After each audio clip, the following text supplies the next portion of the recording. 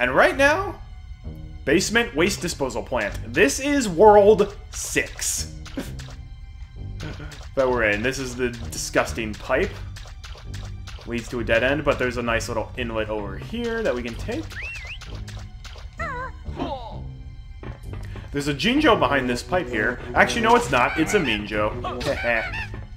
Fooled you, Bert.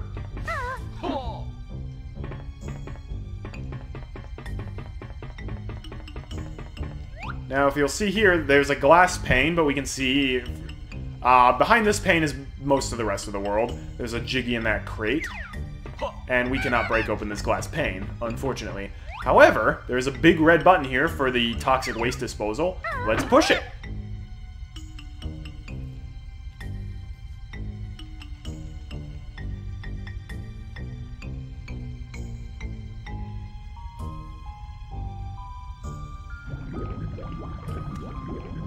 That turns off the pollution and it magically depollutes the whole pool. Thanks, giant teddy bear. Now our water is crystal clear.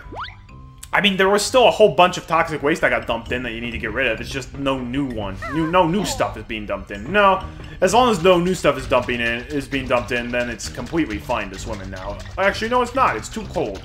You know what? I can I can respect that. One of the things I don't like about going to the ocean is that the ocean's always super cold. Alright, anyhow. That's literally all we can do. It's a nice little sneak peek at what World 6 is going to be like. World 6 is most people's least favorite world in the game. It's one of my favorites, actually. More on that when we get there, though. The pool looks much cleaner now. Thanks. Oh, we've still got the temperature problem to sort out, though. The water is cleaner, but there's still the temperature to fix. Yeah, and your freaky arm. Yeah, unfortunately, we can't fix his freaky arm. That's a bit of a shame. And there's still one one place we have not explored yet.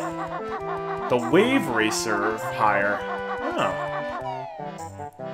Let's check it out. Hey! It's Captain Blubber from the first game. He mentioned that he was going to spend, spend, spend after we got his treasure back for him. I guess he bought a Wave Racer Hire here. But he doesn't seem very happy. What's up, Blubber? Ahoy there, it be your old shipmate Captain Blubber. How you going, me hearties? A bit of a hard day, really. Aye, these adventures are all the same. So many places to go and things to find. Beats standing around, though. How's business, Blubberguts? Not good, landlubbers. All me wave racers are shipwrecked, and the last one was eaten by a fish yesterday.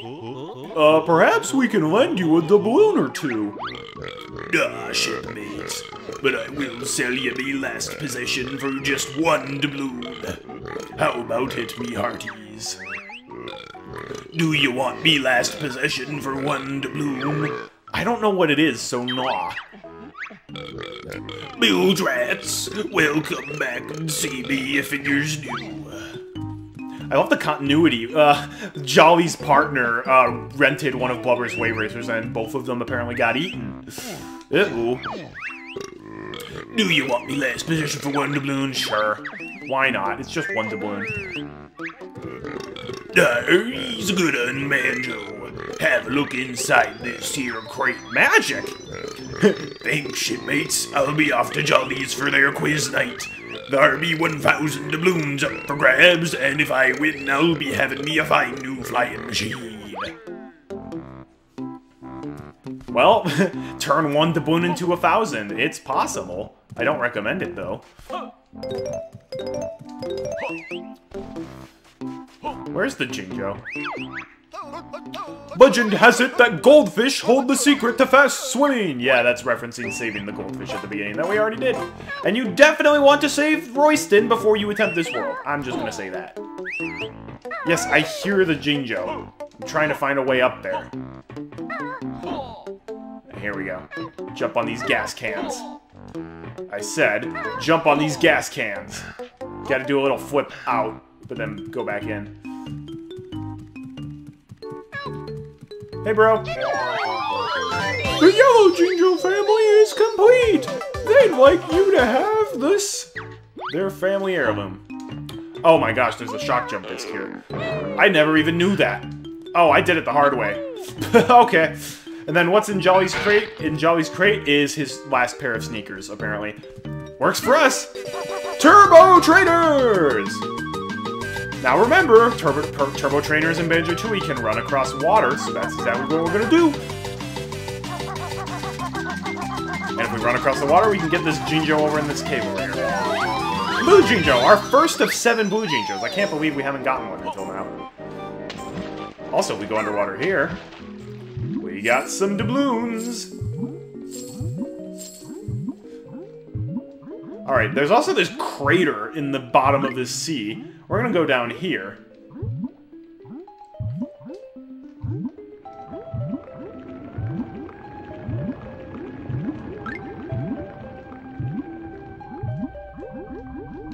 If we go this way, there's an octopus blocking our path. We're not gonna go that way.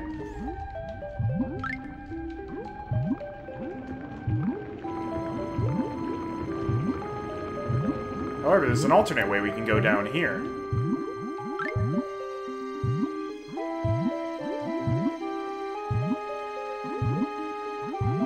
Thank goodness for double air, am I right? Jolly Roger's Lagoon, the Smuggler's Cavern. There's an underwater cavern around here.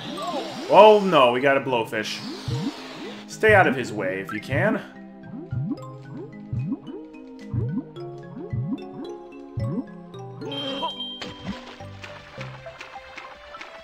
Beautiful. There's a transparent fish down there that has a Cheato page inside it, but we can't actually get that yet. There's also this pipe over here with Kazooie's face on it. We cannot access that pipe yet either. However, this takes us to this beautiful little cavern.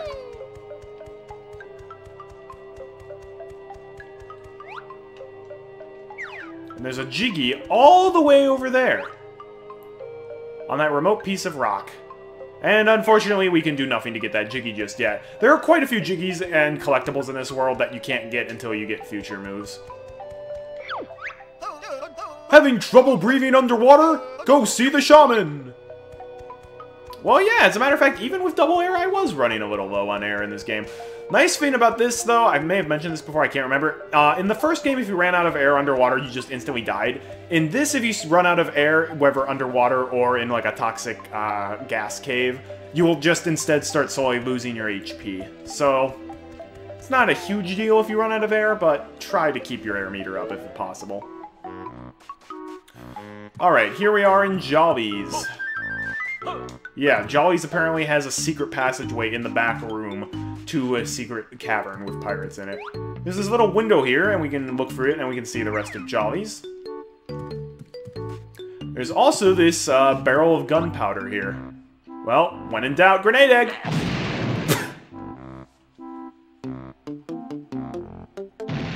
and that just blows a hole clean through the side wall of Jolly's building. Oh, poor Jolly, he's gonna have a lot of repairs to make. But, you know what? Small price to pay. We gotta get a shortcut back to town. it's the little things like that that make this game for me. I love the little secret shortcuts. They're all over the place, like...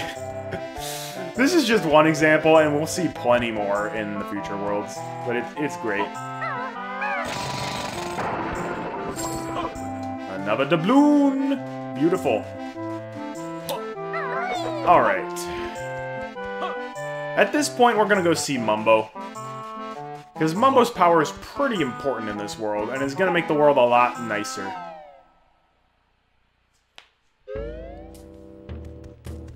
Oh, Mumbo has his pri his savings here. Let's steal all of them.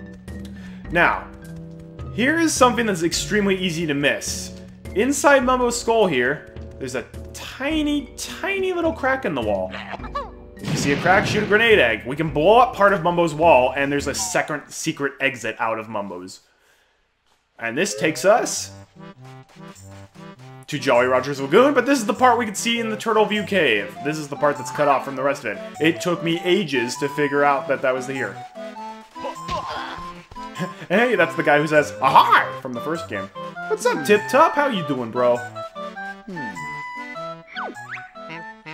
Oh, I don't know what to do. What seems to be the problem, Tiptup? It's my baby. He's about 32 weeks late. Can you help? Can't you just sit on it and hatch it? I'm a reptile, not a bird. He's supposed to get out himself.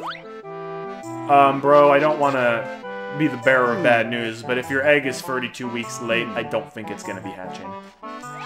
Don't worry, we got this. We got this, Tiptup. What are you doing? That's no way to open the egg. You'll blow my little one to pieces. Jeez, way to make me feel bad.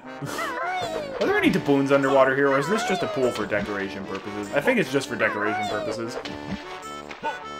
Yeah, we also can't do anything with Tiptup yet. We'll have to come back after a future world. Aha! Eh, they're still easy to beat.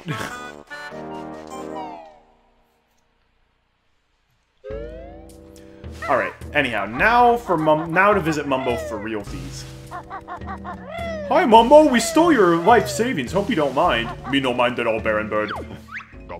Welcome again, Baron Bird. Oh, we've got a Glowbo. Must give magic creature to Mumbo if you want help. Want Mumbo's help? Yep. Sure, we need all the help we can get. Throw it in Mumbo's bag.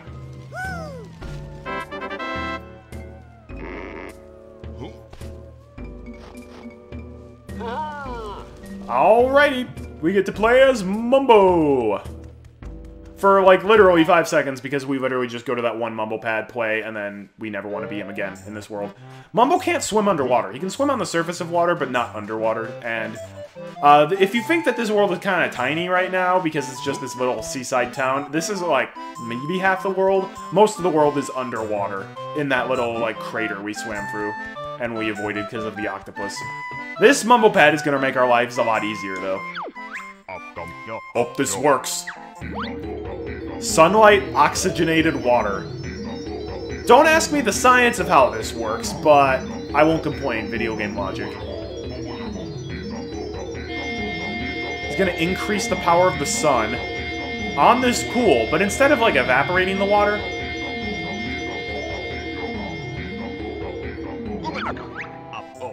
Mumbo shine big light on water. It now has plenty oxygen. Baron Bird not need to hold breath in there now. Yeah, that literally makes it so that when we swim underwater in this world, uh, we have infinite air. I don't know how the magic of that works with just like, oh, I increased the power of the sun on this water, and now you can breathe under it. It's like, that makes no sense, but I'll, I won't complain. Because infinite air on this world is one of the other main things that makes this water world actually kind of good. You don't have to worry about drowning, which is nice. We also have the better swimming from Royston the Goldfish. We can attack underwater with the sub-aqua egg aiming. And it's it's actually kind of fun to explore the underwater area. And speaking of which, well, hang on. Before we go to the underwater area, we now have enough doubloons to purchase Pawno's Jiggy.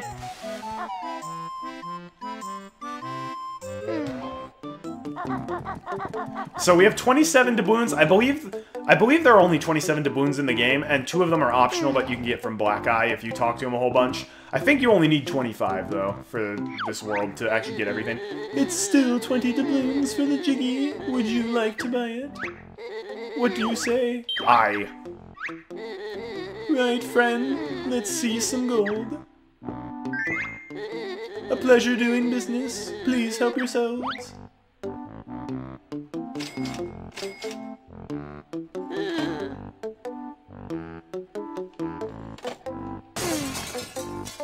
Love how he's wearing the horizontal striped shirt, making him look like a criminal. There we go. That's usually the first Jiggy you're gonna get in this world. Man, we've explored this world for kind of a long time, and we've only just gotten our first Jiggy. Welcome to Banjo-Tooie. Now if we go back after purchasing the Jiggy, he has a Cheato page for sale. Hello again. Uh, how much for the worthless old page? Far from worthless, my friend. I was told that page comes from the legendary Cheato book. Are you sure? Oh yes. I'm afraid I won't take less than five doubloons for it. I don't get quality like that in here every day. So I see. Yeah, that's why you're supposed to need the final five doubloons, but there's also an extra two. Welcome back. The page is still available if you want it. I'm sure it would still be here next year. It would still be five doubloons. So do I have a sale? What do you say? I... Right, friend, let's see some gold.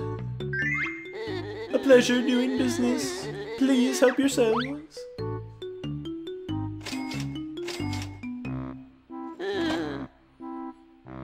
The music in this world is so good. At least when you're in the seaside town. Alright, there's our first Cheato page of the world.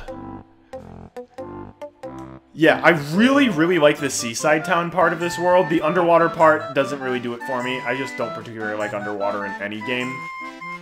Having said that, it's definitely better than most. Like, it's better than all of the Mario 64 underwater levels. It's definitely better than Clanker's Cavern and Rusty Bucket Bay, and it's definitely better than Gloomy Galleon from Donkey Kong 64. Alright.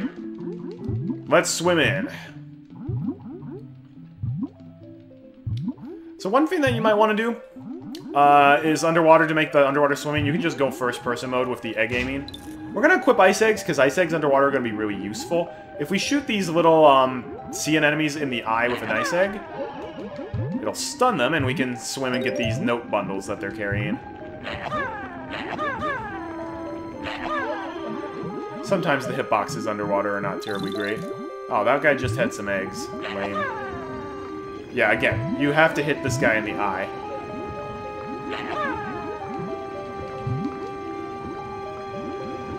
This is why I'm saying, definitely save the goldfish before doing this just for the faster swimming. Okay, so if we go down here, there's an octopus blocking our way. However, if we shoot him in the face with an ice egg, he will freeze, and we can actually get around his tentacles a lot more easily. Because otherwise, if we hit his tentacles, then he will damage us, and we will be in a world of pain. Which is not fun.